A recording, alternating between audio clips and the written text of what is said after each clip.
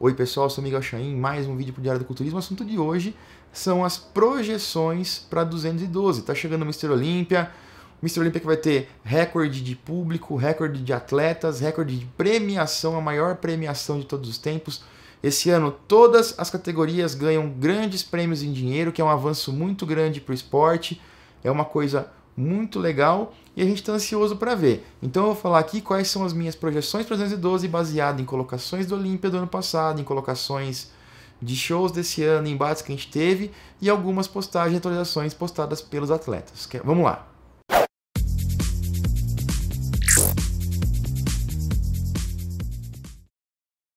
Para 212, que é mais uma categoria que a gente não tem o atual campeão competindo faz tempo, que a gente não vê um novo campeão na 212, esse vai ser o ano, vai ser muito legal de ver, muito interessante saber quem vai tomar a coroa da 212.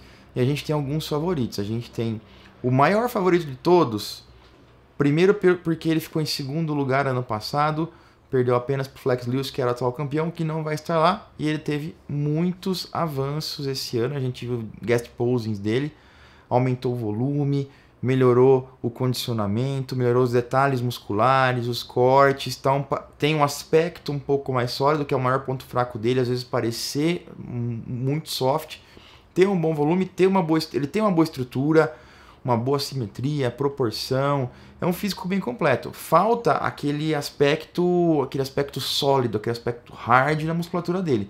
E ele está trabalhando nisso e está melhorando. Então, o cara, o favorito número um que a gente pode dizer hoje, e é claro que é uma projeção, pode ser que tem, tem muitos caras bons aí que vão chegar, mas até então, o que a gente pode dizer é o Derek Lunsford, um americano lá, muito bom esse menino. Tem quatro atletas que brigam pelo título, na minha opinião. Qualquer um deles pode vencer, vai depender de como cada um chega no dia. Derek Lunsford, favorito, mas tem mais três caras que podem vencer o Derek Lunsford. Kamal Elgarni, que ficou em terceiro lugar ano passado, ficou atrás do Flex Lewis e do Derek Lunsford, e ele teve uma ruptura na panturrilha poucos dias antes do Mr. Olympia, causou um pouco de retenção na perna dele, atrapalhou um pouco do físico dele. Talvez, caso ele não tivesse tido essa ruptura, essa lesão tão séria tão pouco tempo antes, talvez ele tivesse até ultrapassado o Derek Lunsford em segundo lugar. Ganhar do Flex Lewis era muito difícil. Ele diz que esse ano ele vem com um físico renovado, um físico melhorado e sem lesões e vai lutar pelo título. É um cara que vai brigar muito, muito forte pelo título. O Ash Kanani ficou em quarto lugar no Mr. Olympia ano passado, vai brigar pelo título, ganhou o New York Pro, trouxe um físico lá legal, mas é aquela história, é um caminhão de volume, mas falta cortes musculares profundos, qualidade muscular, separação muscular, falta qualidade. Eu acho que eu sou fã dos Mass Monsters, eu sou fã dos caras que tem muito volume, mas acho que tem que ter um equilíbrio muito grande nisso aí.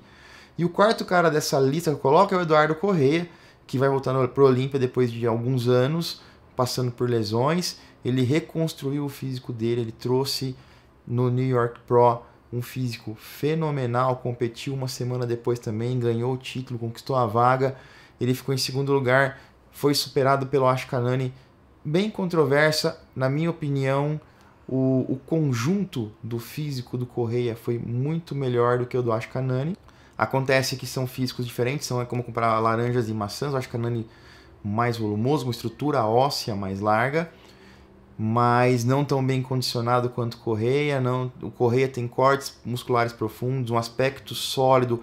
O Correia parece como um bodybuilder deveria parecer. Ele tem um aspecto de um bodybuilder que todo mundo gosta de ver. É estético, estético Estético no sentido, a gente não pode dizer que o frame, que a estrutura do correia seja mais bonita, que o shape, que o formato de todos os músculos sejam os mais bonitos, mas eu digo estética é, ele tem um aspecto, uma aparência físico, um, aspecto, um músculo um aspecto sólido, cortes profundos, tem uma boa proporção. É claro que tem o problema do tríceps rompido, que afeta um pouco a proporção, que afeta bastante a simetria, mas ele consegue compensar isso muito bem com o volume muscular de costas, com a qualidade muscular, com separação. Então o Corrêa tem todas as armas para vencer o título do Olímpia. Ele pode ganhar, não é, uma, não é uma coisa impossível de acontecer.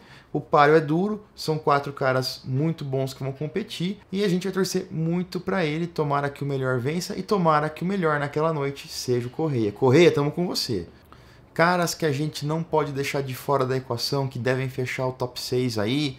Se bobear, chegarem muito bem, alguém deslizar ali naqueles quatro, eles podem até beliscar um top 4, um top 3.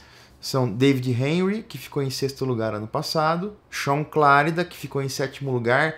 Ele sempre vem com bem menos peso do que o limite da categoria. E os árbitros falaram assim: cara, venha maior, venha mais pesado.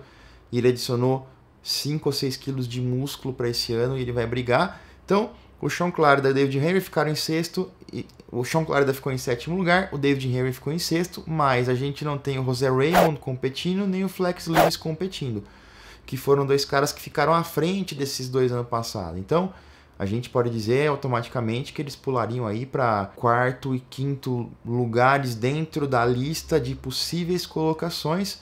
Então, sim, eles vão brigar pelo top 6. São caras de qualidade extrema, mas tem alguns caras que a gente precisa pensar e colocar nessa equação, que na minha opinião são Ide e Yamagishi, que quando chega seco chega muito bem e dá trabalho para todo mundo. Adolfo Skoida, que é aquele cara que venceu o Toronto Pro, que tem um físico maravilhoso, um shape muito bonito. É um shape muito parecido com o Alex dos Anjos, que é um cara que vai dar trabalho se colocar um pouco mais de volume, se continuar chegando seco. Pela estrutura física, pela estrutura do, de frame, de físico que ele tem, ele tem condições e ferramentas para ir muito longe na 212. E um outro cara que a gente devia ficar de olho na 212 é o Ole Krive, aquele ucraniano que veio competir no Brasil no começo do ano.